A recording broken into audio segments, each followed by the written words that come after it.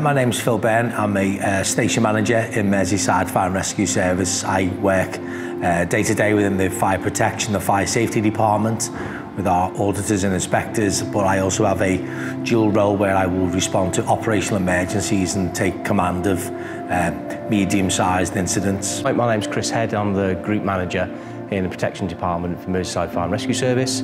I deal mainly with the organisation of our risk-based inspection programme of the 75,000 commercial premises that we have across Merseyside. My name's Phil Dean. I'm the director of WFST. I'm contracted by Merseyside Fire and Rescue Service to deliver the level 4 fire safety diploma.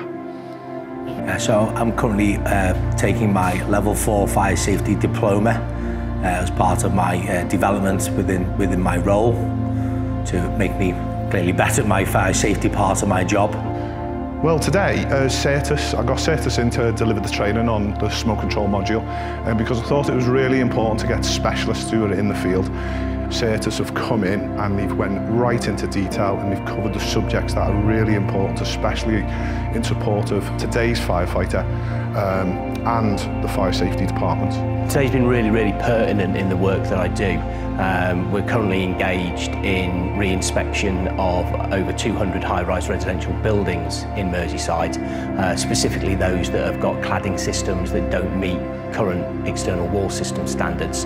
Um, not only are the cladding systems themselves um, coming under scrutiny, but we're also looking at the holistic approach to building safety and resident safety within high-rise buildings. And the use of ventilation systems that we've been looking at today, smoke handling and smoke control systems are critical to the life safety of the people in those buildings and having an, an understanding of how those systems work or in some cases don't perform adequately enables us to get a true picture of the safety standards that are in these buildings and ultimately the way that we can protect the residents in them more effectively.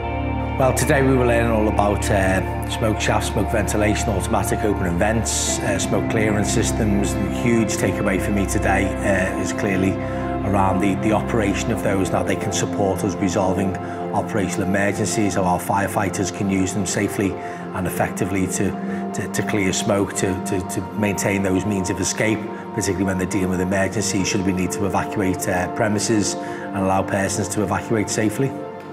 I would recommend Sertus to come in and train firefighters in the, in the operations of smoke control systems and the, the full understanding of them.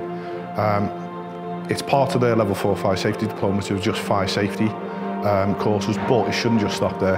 It should drive down into the actual operational crews as well to learn these systems because they're seeing these day to day, especially when they're arriving at incidents.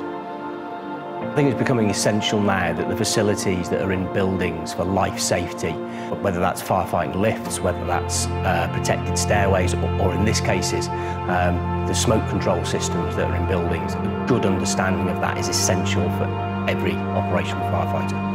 I would certainly recommend that uh, operational firefighters and, and fire officers had a uh, certainly a basic uh, uh, and to a, a medium level of understanding of how these systems operate, both before uh, fire appliances arrive and, uh, and certainly how they can use them in the operational phase of an incident to their benefit and use them effectively for the design which they're, they're designed to do, which is clear smoke and keep people safe and allow people to, uh, to get out of buildings.